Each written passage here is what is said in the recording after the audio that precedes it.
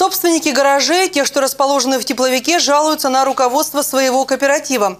Мало того, что здесь редко вывозят мусор и практически никогда не чистят снег, так еще и порыв в системе отопления, как оказалось, устранить некому. В ситуации разбиралась Ксения Епишева. Ей слово.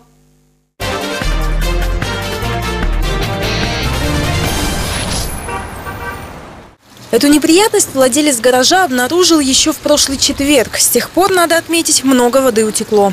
Начиная с четверга в районе, в ночи возле гаража э, бежит э, отопление.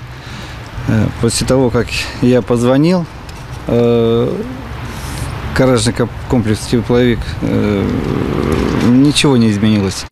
Водичка, между тем, коварным образом пробралась в погреб, где Алексей хранит припасы на зиму. Затопило солидно. В общем, закупил картошечки. Я еще звонил в аварийные службы города. Мне точно так же тоже отказали. Э, не, не стали принимать заявку. А почему? Они сослались на председателя, что это должен делать э, э, отопление это комплекса тепловик, и, соответственно, должна делать это все администрация э, комплекса.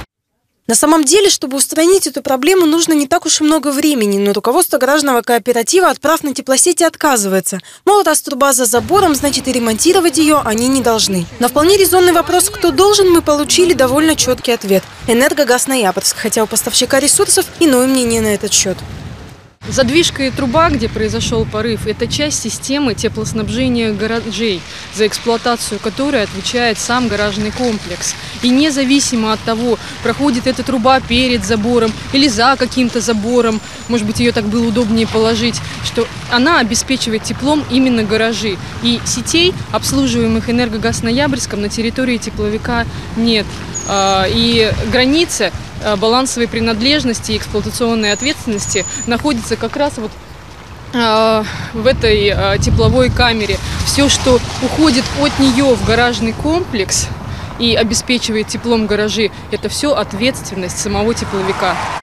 Вот такие сложные отношения. Кстати, пока обе стороны их выясняют, вода все течет. И это, к слову, далеко не единственная проблема кооператива. Рядом с гаражами красуется огромная куча мусора. Это, по словам владельцев гаражей, явление привычное. Что касается уборки снега, то это вообще отдельная тема. Создается впечатление, что его здесь не вывозили ни разу, что, собственно, и подтверждают собственники гаражей.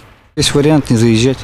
Помимо того, в ближайшем будущем обитатели тепловика рискуют и вовсе остаться без тепла. У гаражного комплекса накопился немалый долг перед поставщиками ресурсов – около трех миллионов рублей. И если в ближайшее время руководство тепловика этот вопрос не урегулирует, в гараже Алексея будет не только сыро, но еще и холодно. Ксения Епишева, Александр Иванов и Григорий Куроптев. Новости нашего города.